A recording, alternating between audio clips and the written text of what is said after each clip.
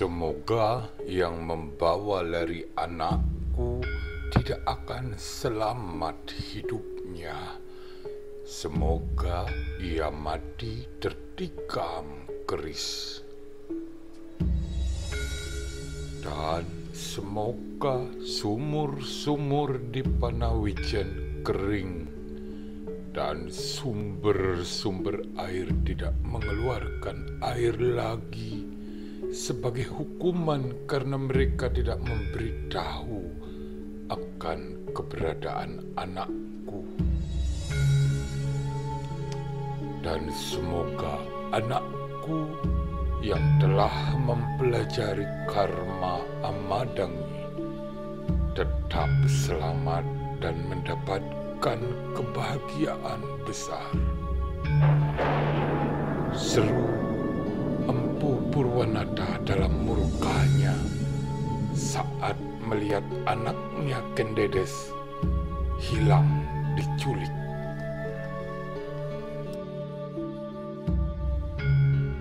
Bertemu kembali dengan kami, Our Channel-channel yang selalu memberikan informasi tentang perjalanan sejarah bangsa.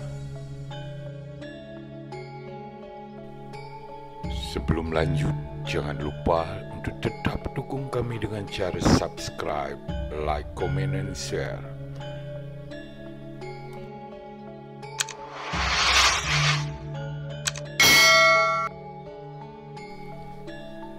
Kecantikan Kendedes Putri Empu Purwanata telah tersohor ke mana-mana. Kabar tersebut didengar pula oleh Tunggul Ametung yang merupakan aku di darah Tumapel yang kemudian pergi ke Panawijen karena penasaran dengan Kendedes. Melihat secara langsung Kendedes yang memang benar-benar sangat cantik membuat aku Tunggul Ametung jatuh hati. Saat Tunggul Amedung tiba Kendede sedang sendirian di rumahnya karena Empu Purwanata sedang tengah berada di hutan. Kendedes meminta kepada aku Tunggul Medung untuk menunggu ayahnya pulang. Namun, lantaran hasrat yang sudah tidak kuasa ditahan, Tunggul Amedung justru membawa paksa Kendedes menuju Tumapel.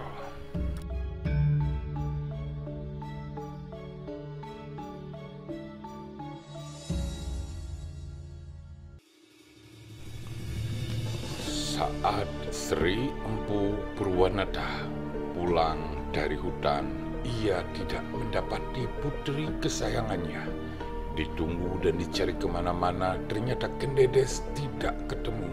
Setiap orang yang ditanya hanya terdiam membisu.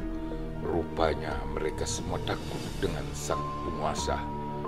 Dengan menahan amarah Empu Purwanata, mengucapkan kutukan. Semoga yang membawa lari anakku tidak akan selamat hidupnya. Semoga ia mati tertikam keris. Semoga sumur-sumur di Penawijen kering dan sumber-sumber airnya tidak mengeluarkan air lagi sebagai hukuman karena mereka tidak memberitahu akan keberadaan anakku dan semoga anakku yang telah mempelajari karma Amadami tetap selamat mendapatkan kebahagiaan yang besar. Murka Empu Purwanata mengeluarkan kutukan. Dan seperti yang tercatat di dalam Pararatur, aku Tunggul Amedung menikahi Kendedes dan Kendedes menjadi permaisuri. Aku Tunggul Amedung di Tumapel. Sang aku Tunggul Amedung memerintah dan menjadi pemimpin Tumapel sejak tahun 1185 Masehi sampai 1222 Masehi. Sang Aku Tunggul Amedung menjadi Aku di daerah Tumapel, yaitu sebuah wilayah yang berada dalam kekuasaan kerajaan Kediri yang saat itu sedang dipimpin oleh Raja Kerdajaya yang memerintah sejak tahun 1194 Masehi.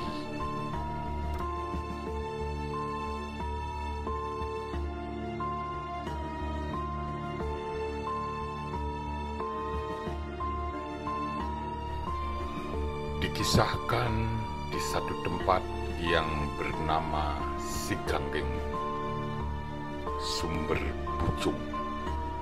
Ada dua sahabat yang menjadi perampok yang sangat ditakuti. Dia bernama Ken Arok dan Dita, anak sang kepala desa Siganggeng. Ken Arok kemudian bertemu seorang Brahmana yang datang dari India yang bernama Loh Kawi yang datang ke tanah Jawa mencari titisan Badara Wisnu. Dan ciri-ciri yang ditemukan Loh Kawi meyakini kalau Ken Arok adalah titisan Badara Wisnu yang sedang dicarinya. Saat itu di Tumapel dipimpin oleh seorang aku yang bernama Tunggul Amedung. Aku Tunggul Amedung sangat menghormati resi dan Brahmana. Sehingga saat pendeta Lokawi memohon agar Ken Arok dapat diterima bekerja sebagai pengawal di tempat aku Tunggul Amedung. Aku Tunggul Amedung tidak menolak dan menerima kedatangan Ken Arok sebagai pengawalnya. Dan sejak itu Ken Arok mulai menempati tempat yang disediakan oleh aku Tunggul Amedung dan bertindak sebagai pengawal aku Tunggul Amedung. Kebersamaan sehari-hari di tempat aku Tunggul Amedung menyebabkan Ken Arok juga bertatapan dan bisa melihat kecantikan Ken Dedes. Ken Arok kemudian sangat tertarik terhadap Ken Dedes, istri dari Tunggul Amedung yang sangat cantik. Suatu ketika saat Ken Arok menjalankan tugasnya mengawal Tunggul Amedung dan Ken Dedes di taman, secara tidak sengaja ia melihat kain Ken Dedes atasannya tersingkap. Dan dari bagian rahasia Ken Dedes terpancar cahaya. Ken Arok menceritakan kejadian tersebut kepada pendeta Logawi. Loh Gawi mengatakan kepada Ken Arok bahwa perempuan yang memancarkan sinar dari bagian rahasianya adalah perwujudan dari Sri Nareswari atau perempuan utama. Siapa pun lelaki yang menikahinya bakal menjadi penguasa besar dan saat itulah muncul niat Ken Arok untuk mendapatkan Kendedes dan menyingkirkan aku Tunggul Amedung. Pikiran Ken Arok selalu pusat untuk bisa menguasai Kendedes dan membunuh aku Tunggul Ametung sekaligus untuk menguasai Tumapel. Berdasarkan peraraton, Ken Arok membutuhkan sebuah keris yang sakti yang mampu membunuh Tunggul Amedung. Dan dari itu, dia kemudian mendatangi Empu Gandring untuk memohon dibuatkan sebuah keris yang sakti.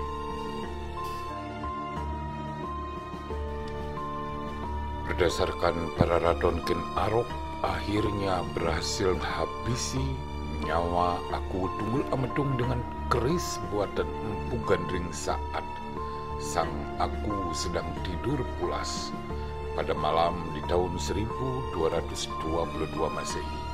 Ken Dedes mengetahui kejadian tersebut namun ia memilih diam. Ken Dedes memang merasa tidak pernah mencintai aku Tunggul Amedung yang menculik dan menikahinya secara paksa. Ken Arok berhasil menghabisi aku Tunggul Amedung dan mempunyai alibi yang kuat sehingga permasalahan pembunuhan terhadap aku Tunggul Amedung malah ditimpakan kepada Kebo Hijau. Kebo Hijau pun akhirnya dibunuh. Kenarok kemudian menikahi Kendedes yang saat itu telah mengandung anak dari aku Tunggul Amedung. Tidak ada siapa pun yang berani menentang pernikahan tersebut. Bahkan Ken Arok dan Ken Dedes disebut saling mencintai. Ken Arok mencintai sepenuh hati Ken Dedes dan Ken Dedes juga menemukan cintanya pada Ken Arok. Masih berdasarkan para radon dan setelah wafatnya sang aku Tunggul Amedung dan setelah menikahnya Ken Arok dan Ken Dedes setelah Ken Arok menguasai Tumapel Ken Arok memakai gelar Sri Rajasa Batara Sang Amurwa Bumi sedangkan Ken Dedes sebagai permaisurinya menyandang gelar dia Ayu Sri Maharatu Mahadewi. Ken Arok yang bermula dari seorang berandalan sekarang telah menjadi seorang aku di Tumapel yang mempunyai istri yang sangat cantik. Ken Arok memiliki cita-cita dan berkeinginan agar Tumapel bukan cuma sebagai aku, tetapi Tumapel adalah satu kerajaan dan Ken Arok adalah rajanya. Keinginan ini terus dipelihara keinginan ini terus digelorakan dalam hatinya sambil terus menata pemerintahan dan wilayahnya.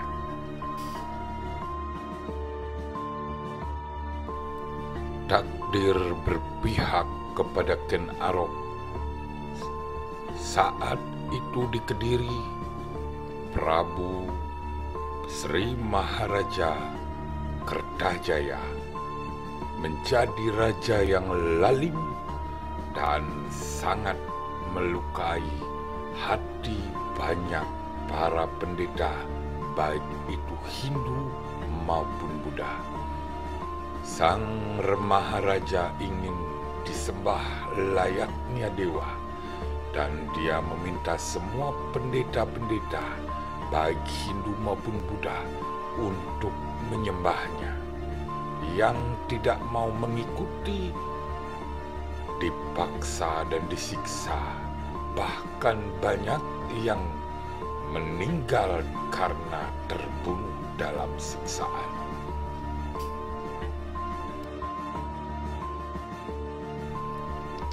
Dengan kepongahan dan kecongkakan, Sang Maharaja duduk di atas tombak yang sedang berdiri, dan dia meminta semua pendeta untuk menyembahnya.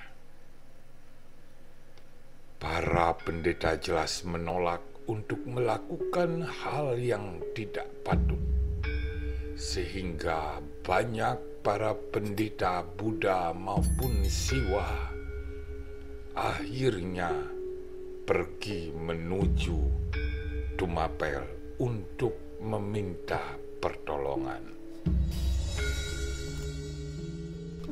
Kedatangan para pendeta-pendeta yang mengungsi dari daerah Kediri menuju Tumapel di mana Ken Arok sebagai aku di sana yang sedang bersiap-siap untuk melawan Kediri, membuat Ken Arok bagaikan mendapatkan durian runtuh.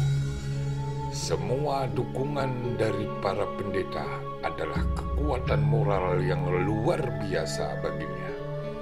Dan dengan dukungan para pendeta, Ken Arok menyatakan diri sebagai kerajaan mandiri yang terbebas dari kerajaan Kediri.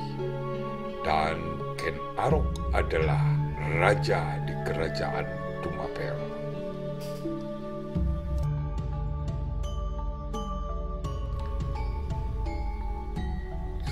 Berdasarkan Pararadon, di mana Sri Maharaja Kertajaya disebut sebagai dengan nama Dandang Gendis.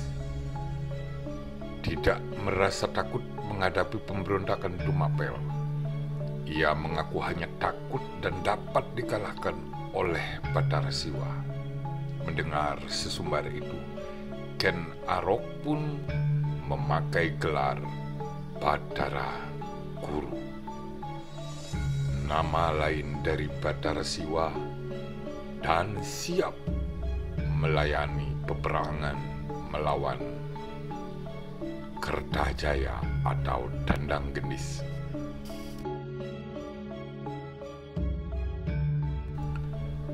Dalam perang antara Kediri dan Tumapel terjadi di dekat desa Ganter, pihak Kediri kalah total. Raja Kertajaya atau Dandang Gendis bahkan disebutkan naik ke alam dewa yang mungkin berarti wafat. Negara Kertagama mencatat pada tahun 1222 Masehi, Sang Girinata Putra mengalahkan Kertajaya Raja Kediri. Ia kemudian menjadi raja pertama di Tumapel bergelar Sri Rangkah Rajasa. Ibu kota kerajaannya disebut Kuta Raja.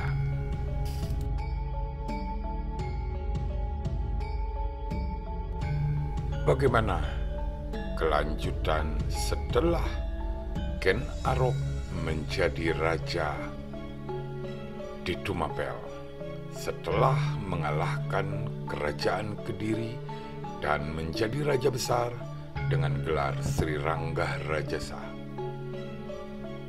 Tunggu tayangan kami selanjutnya.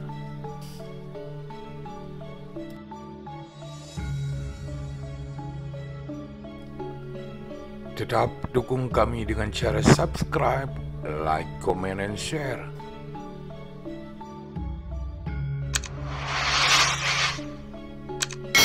Terima kasih.